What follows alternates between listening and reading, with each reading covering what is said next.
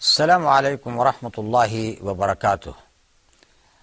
Welcome back to this program about the beautiful names of Allah. Before the break, we have been discussing about Ar-Rahman. Now let us take Ar-Rahim, which is uh, many times mentioned in Al-Quran with Ar-Rahman. And it is said that uh, it is mentioned in Al-Quran more than a hundred times. It comes with Rahman, it comes with Ghafoor as well. Inna Allah Ghafoor Rahim. And what is uh, the main difference between Rahman and Rahim? We said that Rahman is uh, the mode of fa'lan, something which is very excessive in abundance. And Rahim is the mode of fa'il, which means that this quality or this uh, attribute is continuous.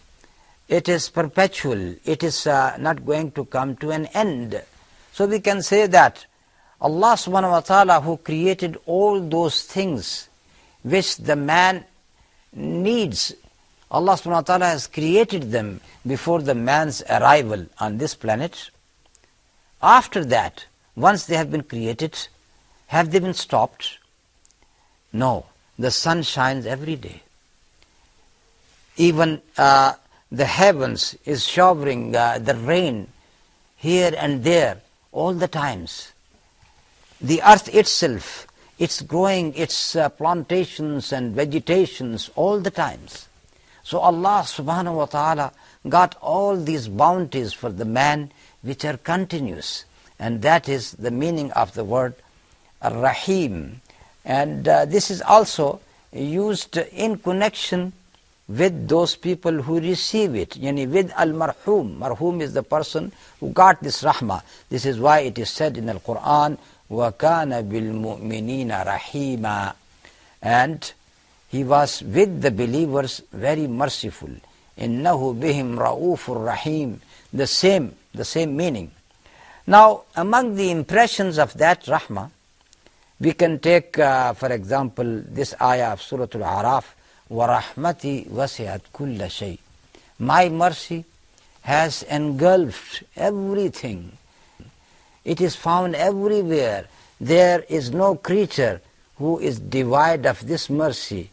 Allah subhanahu wa ta'ala has showered this mercy upon each and every one. And then in Surah Al-An'am he has said, كَتَبَ رَبُّكُمْ عَلَى نَفْسِهِ الرَّحْمَةِ Your Lord has recorded upon himself the mercy. And that is something which he said that I am going to, to do that. And there is a hadith of the Prophet ﷺ as transmitted by uh, Abu Huraira, إن الله لما قضى الخلق كتب عنده فوق عرشه إن رحمتي سبقت غضبي When Allah subhanahu wa ta'ala has uh, decreed for the creation, He has written on his throne that my mercy is before my anger. Before my anger. That is again another sign of uh, the vast mercy of Allah subhanahu wa ta'ala. And in another hadith of the Prophet sallallahu alayhi wasallam, Allah subhanahu wa ta'ala got 100 shades of mercy. Out of them, He has given he has given to the people of this earth just one shade of mercy. So, all the people in this planet, including uh, the human beings and the jinn and the beast and the animals, all of them, they got the share from that one shade of mercy coming from Allah subhanahu wa ta'ala.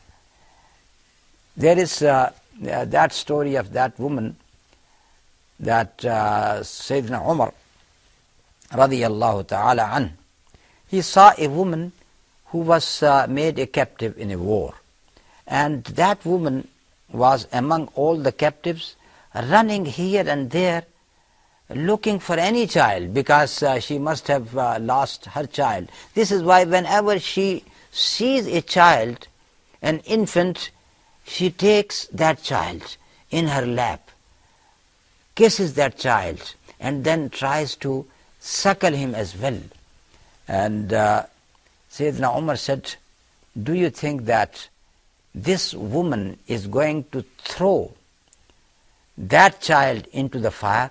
They said, Of course not. And then he said that Allah subhanahu wa ta'ala is more merciful upon his, upon his people than this woman to her child. And also among the impressions of the mercy of Allah subhanahu wa ta'ala that He has uh, sent His guidance. We have said it when we were explaining the word Ar-Rahman that He has sent His guidance, especially the last guidance to the mankind as a token of mercy from Him. And the Prophet sallallahu alaihi wasallam is embodied in that mercy. We are not going to enter into Al Jannah except because of the mercy of Allah subhanahu wa ta'ala. As the Prophet ﷺ has said that no person is going to enter into Al Jannah because of his own actions. And they asked him, Even you, O Prophet of Allah? And he said, Even myself. إلا أن يتغمدني الله برحمة منه وفضل even myself, I am not going to enter into Al Jannah except if Allah subhanahu wa ta'ala has covered me with His mercy and with His grace.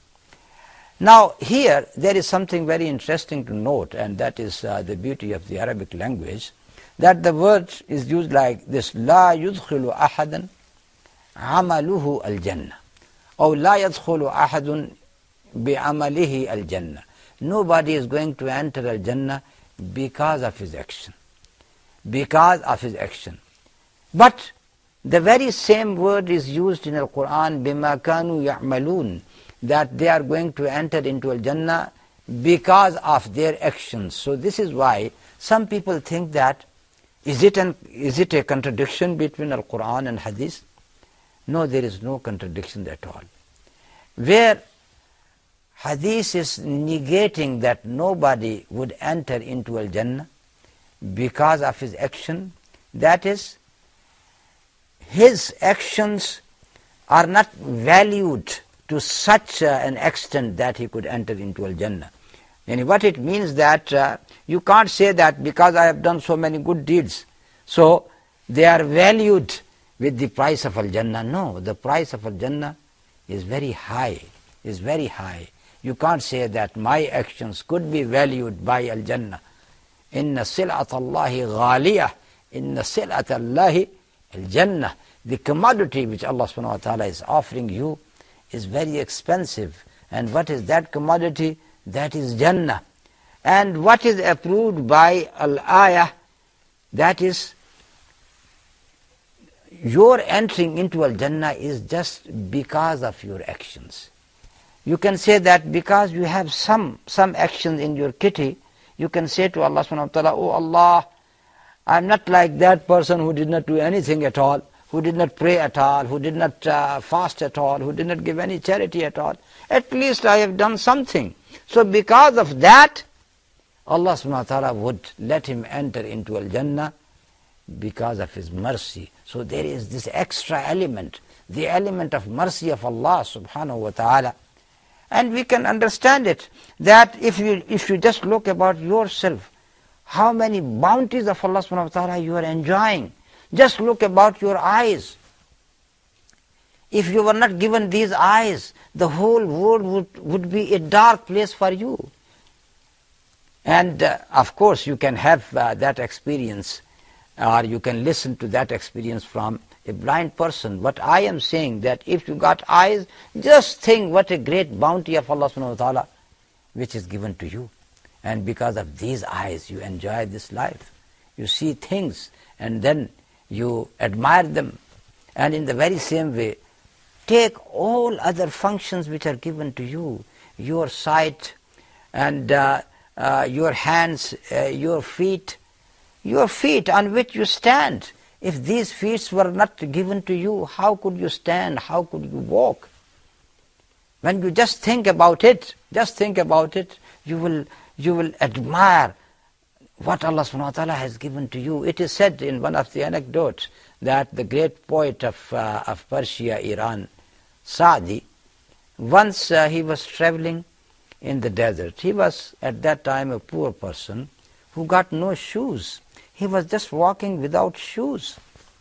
And he was saying to himself, Look at yourself, O Sadi. You got not even shoes to walk. You are, you are so poor. And then he saw a man crawling on the ground on his knees because he got no feet at all. His feet were cut by any accident, for example. And then Sheikh Sadi said, Alhamdulillah, praise be to Allah subhanahu wa ta'ala who gave me these feet, these legs on which I can stand and I can walk. Look at this man who got no feet at all and he is crawling just like a reptile on the ground. So you, whenever you see about all these uh, bounties of Allah subhanahu wa ta'ala, you come to thank Him and you say, Alhamdulillah, I am better than many people. There was uh, once a person whose name is Al-Aqra ibn Habis. He saw the Prophet wasallam kissing his grandchild Al-Hasan Abil Hussein. And Al-Aqra ibn Habis said to the Prophet I got ten sons and I never kissed them. And Prophet wasallam said to him that Allah has taken from your heart. What should I do if Allah subhanahu wa ta'ala has taken the mercy from your heart? So, when you think about uh, this attribute of Allah subhanahu wa ta'ala that He is Rahman and He is Rahim, it means that it should be reflected. It should be reflected in yourself. So you become merciful to, to the people. You become kind to the people. You show kindness to them. If someone has done something bad to you, what is the kindness? Just forgive him. Just forgive him. وَقُلْ رَبِّ اغْفِرْ وَارْحَمْ وَأَنْتَ خَيْرُ الرَّاحِمِينَ That is in the end of Surah Al-Mu'minun. And say, O Rabb, forgive and have mercy. وَأَنْتَ خَيْرُ الرَّاحِمِينَ And you are the best among those who shower the mercy. And inshallah, we will continue with the explanation of the names of Allah in our following episodes. Wassalamu alaikum wa rahmatullahi wa barakatuh.